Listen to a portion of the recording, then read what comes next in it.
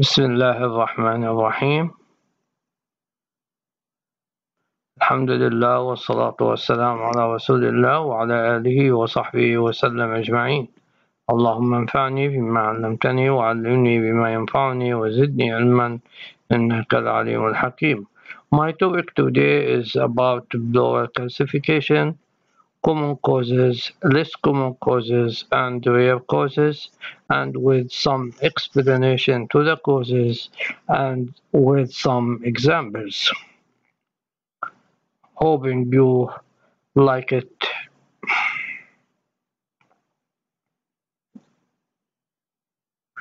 Pleural plaques are usually result the results of asbestos exposure. Pleural thickening from any cause can calcify,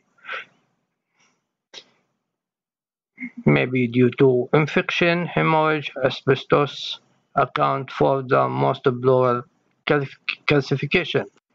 Exuberant pleural calcification most commonly from tuberculosis.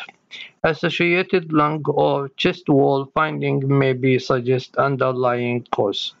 CT more sensitive than radiograph in detecting pleural calcification.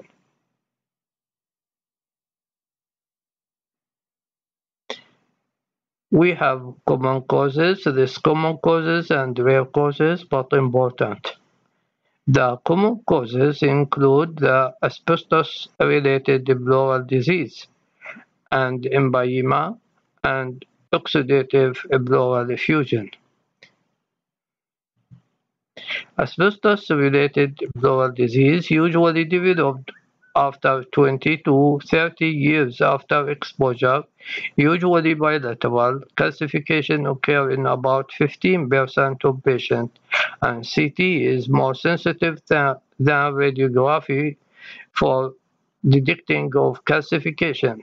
Characteristic location, posterolateral chest wall between 6 and 9 ribs, dome of diaphragm, and mediastinal pleura particularly over the diaphragm.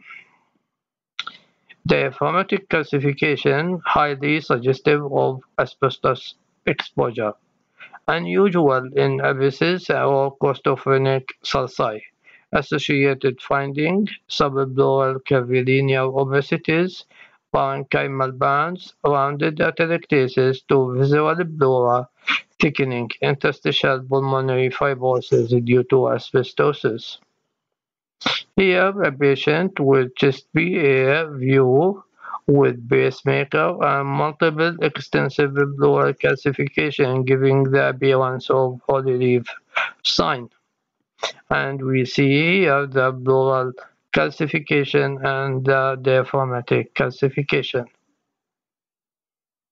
Here, another patient with CT scan, and we see pleural calcification bilaterally here, there, and there, and uh, on the mediastinum, and both posterior and lateral chest wall of the pleura.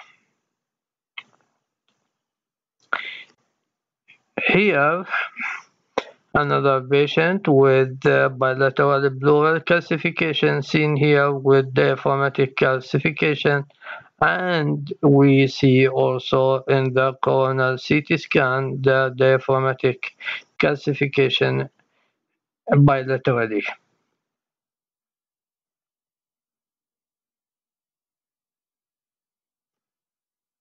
And bilateral pleural calcification with the diaphragmatic calcification almost always the result of asbestos exposure. Empyema usually unilateral. Tuberculosis is the most common worldwide cause. Pulmonary finding of TB present in about 85% with tuberculosis empyema typically developed three to six months following primary infection caused by a rupture of subpleural nidus or pulmonary infection into the pleural space. Thickening of parietal and visceral pleura maybe become sheet-like or often extensive posterior laterally and it is a residual effusion in about 15% may lead to fibrothorax, extensive calcification, volume loss in affected lung, restrictive lung disease, compressive around atelectasis. Here we see chest with the extensive course of right pleural calcification in a patient with a previous TB empyema and there is also some volume loss with the by with some volume loss and a slightly hyper-aerated left lung. Here, the CT scan of this patient, we have calcification due to tuberculous empyema, and the calcification can be smooth or nodular, and not some pneumo, not the chronic pneumothorax noted here also. Exudative pleural effusion, usually unilateral calcification, is this common than empyema, associated pleural thickening. As adjacent pneumonia or other pulmonary infection may be presented initially.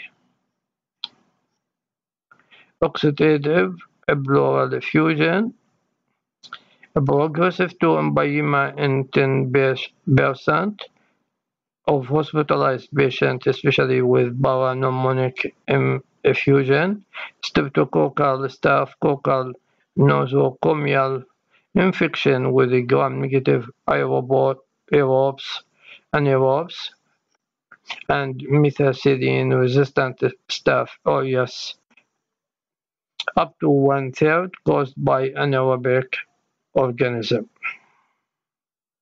Less common causes pleural metastasis, hemothorax, pleural disease, and radiation-induced lung disease.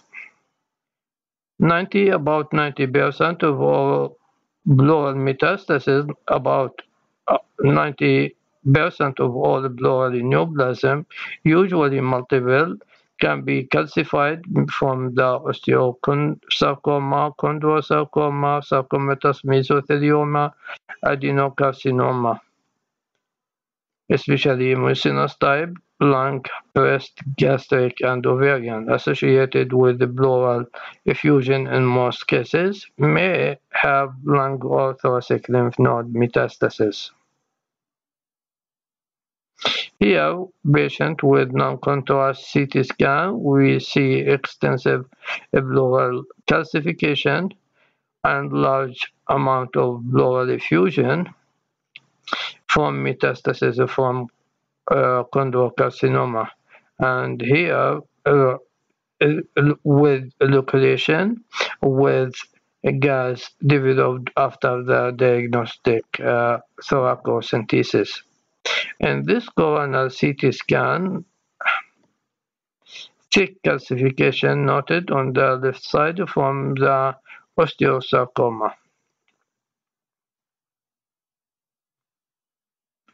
Hemothorax, usually unilateral, blunt or penetrating trauma, iatrogenic, parietal and visceral pleural calcification, late finding can become sheet-like, often most extensive posterolaterally varying amount of residual pleural fluid. Adjacent healed rib fracture suggestive of hematomatic in nature. Here we see axial CT scan after contrast pleural calcification with the pleural thickening on the posterolateral on the left side associated with uh, uh, plate-like atelectasis, linear atelectasis on the left base.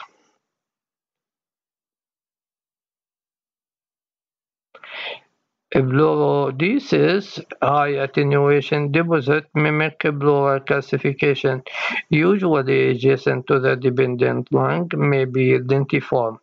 Variable degree of pleural thickening and nodularity remain stable over time, may enhance with large amount of granulation tissue. Residual liquidation of fluid is common. Here, patient with non-contrast CT scan, pleural thickening with calcification bilaterally after from talc uh, uh, Pleurodesis in this patient with recurrent effusion. Patient has uh, recurrent uh, pleural effusion from yellow nail syndrome and you we see here the residual left-sided pleural effusion. Radiation-induced lung disease, unusual complication of radiation therapy for breast cancer, lung cancer, or lymphoma associated with the pleural thickening. A small amount, a small residual pleural effusion may be present. Radiation-induced lung fibrosis often present in irradiated radiation area. Here we see patient after IV contrast axial cut CT scan and we have apical pleural thickening with calcification from radiation for breast cancer and we see also thickening of the soft tissue around the around the apex and also involve the scapula from osteitis radiation. Less common causes fibrous uh, rare sorry uh, uh, rare causes fibrous tumor of the pleura single will define soft tissue abutting pleura. 65 to 80 percent arise from the visceral pleura, 20 to 35 arise from parietal pleura. Fissural origin not uncommon. 50 percent, about 50 percent arise from vascular pedicle and variable in size 1 to 36 with average size about 6 cm. Intermediate to high attenuation on unenhanced CT attributed to abundant capillary network and have density of collagen.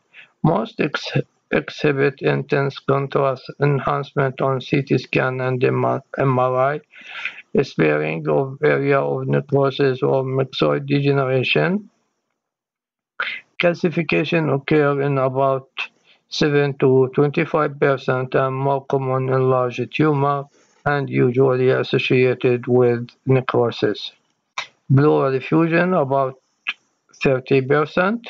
Parenchymal paraneoplastic syndrome can occur with hypoglycemia in 7 percent, clubbing of the finger in 4 percent, and resolved after tumor resection. About 20, 12% of these fibrous tumors of the pleura are malignant.